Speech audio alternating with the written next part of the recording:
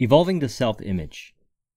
We're going to discuss a handful of quotes from Neville Goddard as well as James Allen to get deeper into the concept of self image. I've done a handful of discussions on this particular concept. The idea is that when we evolve the self image, in other words, as Neville puts it, no one to change but self, the outer world begins to change and reflect the self image, the evolution of the self image. And in the journey of creating what we desire, what we have to remember is that this is a constant journey of evolving our self image to be in alignment with what we desire to create. And as a result, the thoughts, emotions, behaviors, and outer world circumstances change to reflect the self image. So we're going to look at it from four perspectives. Number one, the desire and the evolution of the self image, or how desire relates to it. Number two, consciousness as the cause rather than the effect based self image. In other words, a self image based of cause rather than effect. In other words, seeing yourself as the cause or empowerment rather than the effect, disempowerment. Number three, cause and effect reflection of the self image. In other words, we are always experiencing in our reality the reflection of our self image, and we can reflect upon our experiences to evolve the cause within. In other words, evolve our self image to be more in alignment with what we desire to create. And then finally, number four, maintaining states of mind to affirm the self image, states of mind. Neville says, Be ye transformed by the renewing of your mind. To be transformed, the whole basis of your thoughts must change. But your thoughts cannot change unless you have new ideas, for you think from your ideas. All transformation begins with an intense, burning desire to be transformed. The first step in the renewing of the mind is desire. In other words, to renew the mind and find ourselves into higher levels of empowerment based or consciousness as the cause rather than the effect based self image. We create ideas from our desires.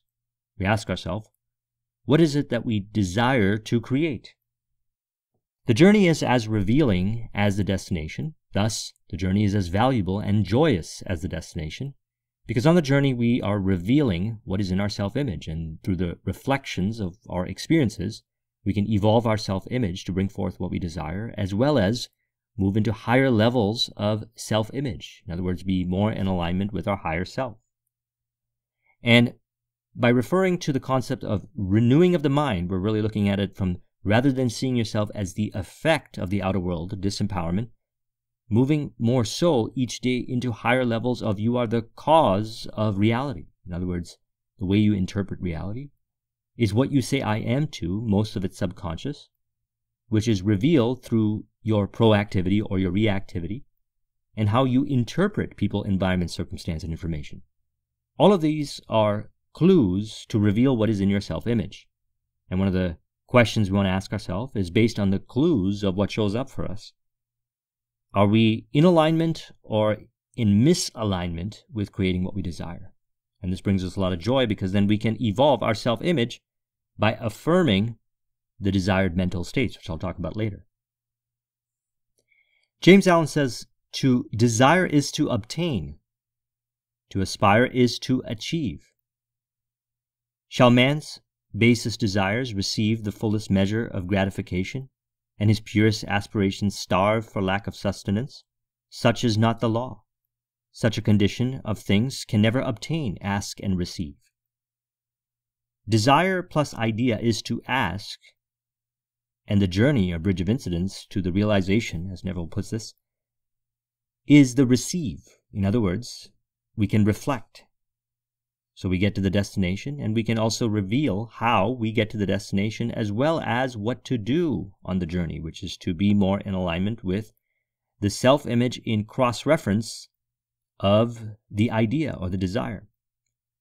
As Neville puts it, what would it look like if it was true? What would you be doing right now? If you were living in the end? All of this is an automatic reflection of the self image. And if there's incongruence, we can evolve through choosing states of mind that are in alignment with the affirmation of the desire. In other words, seeing the journey from a place of flow rather than force or resistance, seeing the journey as more proactive rather than reactive, or as he puts it, reactive to the world of Caesar, which is five sensory data based elements that appear to deny your assumption. The key word is appear. They only appear to deny your assumption based on what you believe to be true, which is stored in your self image, which are clues to evolve the self image, to bring more in alignment with what we desire to create. Number two, consciousness as the cause rather than the effect based self image. In other words, our goal is to evolve our self image to seeing ourselves as the cause and creator of our reality. Neville says, The light is consciousness. Consciousness is one manifesting in legions of form, or levels of consciousness. There is no one that is not all that is, for consciousness, though expressed in an infinite series of levels, is not divisional. There is no real separation or gap in consciousness. I am cannot be divided. So at the highest level of consciousness, I am. It's the recognition of I am, and perhaps there's even higher levels to that, but let's look at from the perspective of what we desire to create.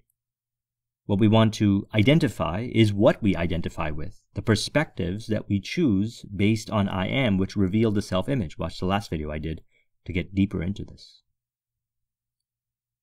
James Allen says achievement of whatever kind is the crown of effort, the diadem of thought. Okay, crown of effort, diadem of thought. More accurately put, it is the reflections of the experiences of how our self image is being externalized to evolve our thoughts within, to bring it into alignment of affirmation of what we desire to create. He says, by the aid of self control, which is this is what we're really talking about, self control is cause and effect reflection. Being proactive rather than reactive. If we react, understand the reactivity is based on past programming and it's revealing itself, what's in the self image, and we can evolve and feel less reactive. We'll talk about how so later on in the video. By the aid of self control, resolution, purity, righteousness, and well directed thought, a man ascends. By the aid of animality, indolence, impurity, corruption, and confusion of thought, a man descends. Number three, cause and effect reflection of the self image. James Allen says, All that a man achieves and all that he fails to achieve is a direct result of his own thoughts. In a justly ordered universe where loss of equipoise would mean total destruction, individual responsibility must be absolute. A man's weakness and strength, purity and impurity are his own, and not another man's. They are brought by himself, they are brought about by himself and not by another. And they can only be altered by himself, never by another. His condition is also his own and not another man's. His suffering and his happiness are evolved from within. As he thinks, so he is. As he continues to think, so he remains. Now, this is all based on the assumption that we see ourselves more so each day as the cause of our reality and by taking the power back, but really renewing the mind, more accurately put. We always had the power. By renewing the mind, we realize we have the power. We assume and realize that we are the creator of the experiences in our life. And through the recognition that we are the creator of our experiences, we evolve within to observe as the experiences change. What is really happening is we're choosing what we call states of mind or attitudes of mind and there are infinite different states of mind. And these states of mind are perspectives. And in order to automatically choose the perspective, we reflect upon the different experiences that we have each day and ask ourselves, is this something that we associate with as the cause from within? In other words, we can cross reference this back to where this programming was instilled. And if we don't understand where it was instilled, one day we will be able to figure it out. But that's okay because whatever experience we have, we realize that we can change it through evolving the programming within. By referring to evolving the programming within, I'm really referring to, from my perspective, the four modalities that I use, which I'll talk about in a moment. All these four modalities allow you to do is affirm certain states of mind that are in alignment with being the cause of reality. In other words, empowerment and as Neville says here, by states of mind, he's referring to attitudes of mind. The New Testament begins, the time is fulfilled, and the kingdom of heaven is at hand. Repent and believe in the gospel.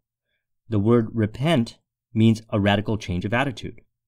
A radical change of attitude means that you've always had certain attitudes towards experiences, and then radically change the attitude will result in radically altering the experiences in the outer world. He says, Don't condemn yourself for the state into which you have fallen. If you don't like it, move into another. Don't feel sorry for yourself, for if you do, you will make the state a habit and remain there for the rest of your days on earth. Instead, you can believe this doctrine and move out of any state. So the idea behind this is that when we shame ourselves because we've identified with a state of mind that has created a certain experience and there's shame infused in that state, we begin to affirm that state of shame and further experience that same circumstance or similar circumstance as the reflection of what's within the self-image, which contains the shame. Now, what we would then want to realize is that there is something that we experience called shame, which usually came from past experiences, and we can evolve using one of the four modalities, which I always refer to, which I'll talk about in a moment. He says, How do you get out of a state? Through belief. You must believe in the doctrine. You are told, Whatsoever you desire, believe you have received it, and you will. The precepts of Christ must be accepted literally, for they will be fulfilled literally. Can you believe the precept that believing you have already received your desire will bring it forth into your world? If so, then tonight you can change the things that are happening in your world.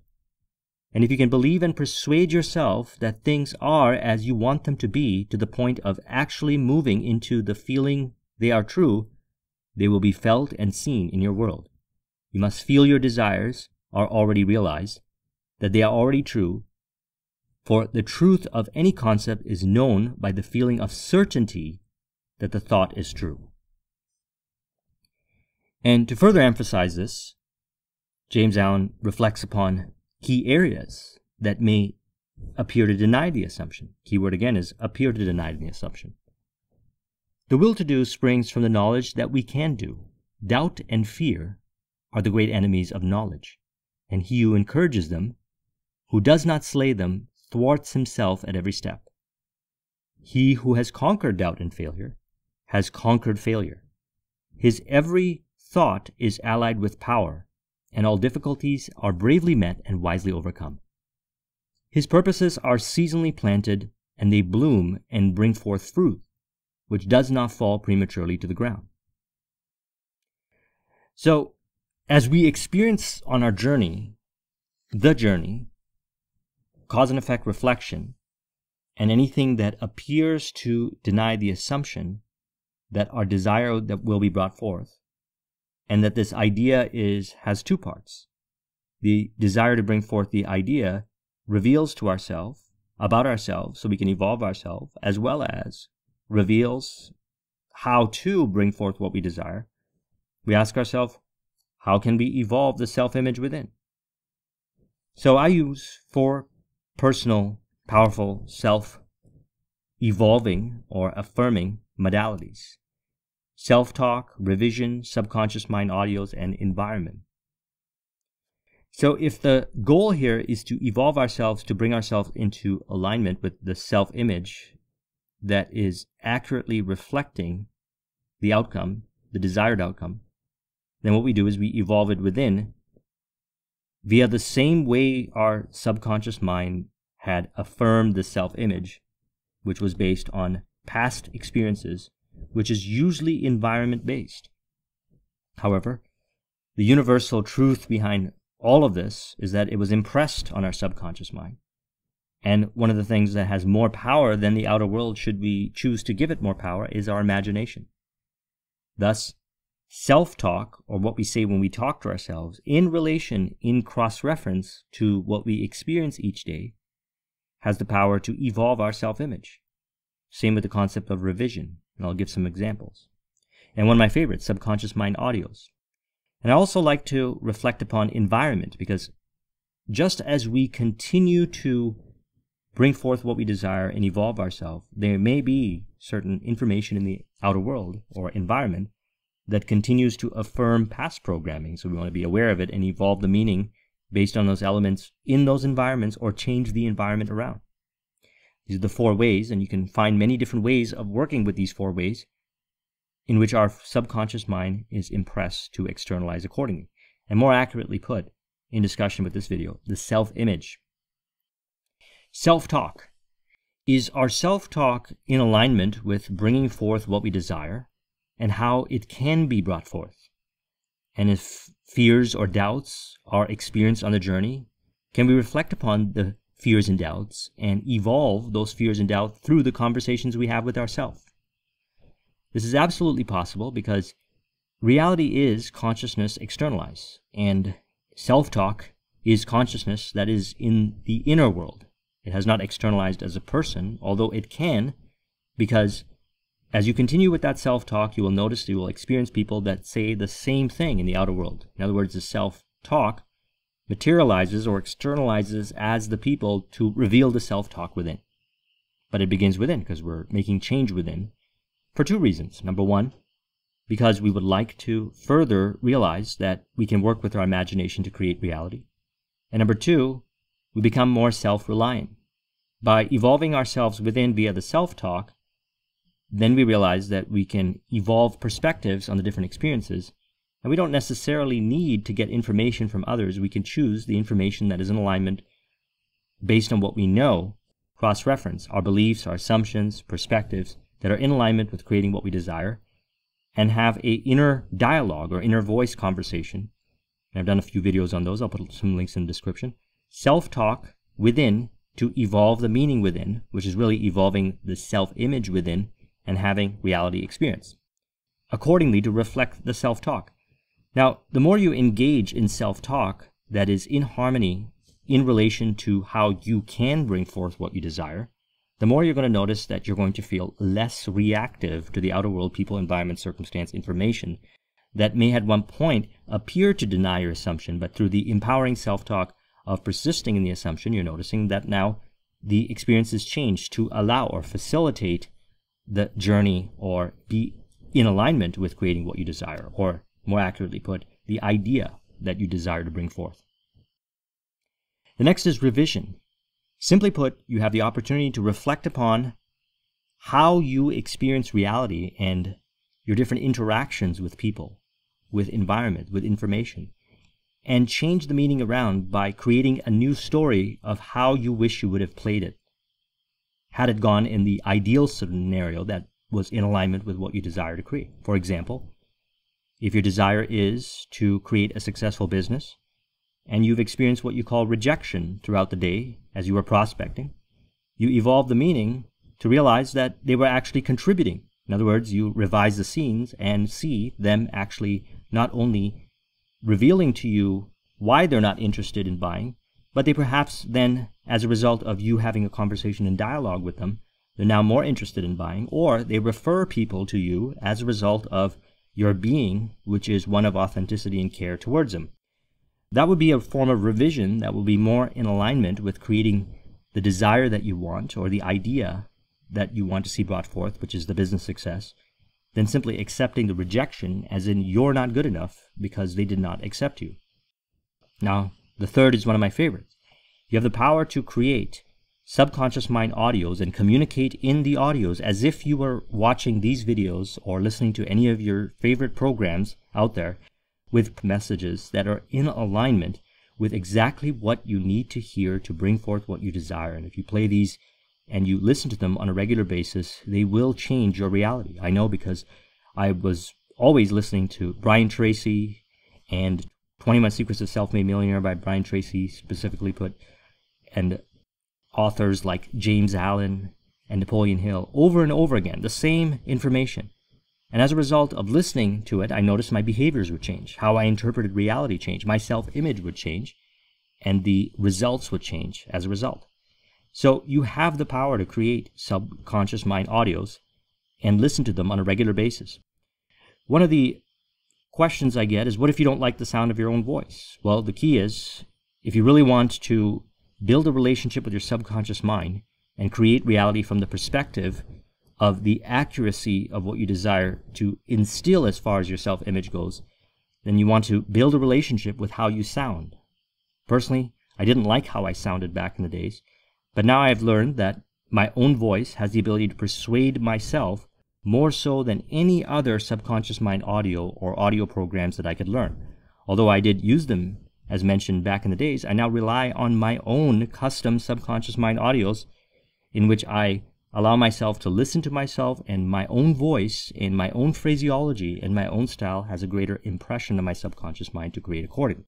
Now we're using these four modalities to reflect upon each of the experiences that we have during the day and based on what shows up where we see ourselves as the effect rather than the cause, we evolve the meaning, the beliefs and assumptions about that experience through the cause and effect reflection and say, is this belief and assumption about these different experiences that we're having on the journey in alignment with the self image, how you see yourself to be.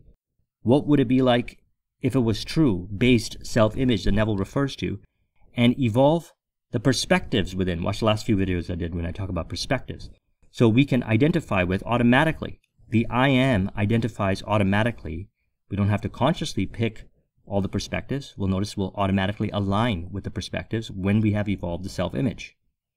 And then finally, environment. Environment is very important. This programming got into our subconscious mind, which created our self image based on the environment, the experiences that we've had in our past. So, thus, we continue to evolve and guard our subconscious mind by picking and choosing the environments that are most in alignment with what we desire to create or we can evolve the meaning around those environments through, again, the self talk, revision, or subconscious mind audios. So, again, the goal here is to really value your desire, and as a result of valuing the desire or the idea specifically that is generated in your mind, by valuing it and seeing it all the way to completion, and you'll be able to see it all the way till completion with joy, bliss, and ease as you evolve what shows up on the journey, your reactivity, or the reflections of your experiences each day, which reveal what's in your self image through positive self talk, or more accurately put, aligned self talk. Because it's not just about trying to make it sound nice, but more accurately put, it is designed to help you see the potentialities of how whatever is showing up, which may appear to be obstacle, is actually an opportunity through the self talk, through the revision, through the subconscious mind audios and environment. Now, if you do these things, what you'll notice is you will build a deeper relationship with your subconscious mind. In other words, you will learn to self persuade yourself, whereas many times, maybe in the past, you needed somebody else to persuade you to do something. And by persisting on this journey or maintaining this journey, you will learn how to build a relationship and become your own best friend, your own mentor, your own coach, your own consultant. Because the truth is this most likely you already know what you have to do. We live in a time right now where we have access to so much information. The key is how do we get ourselves to do it?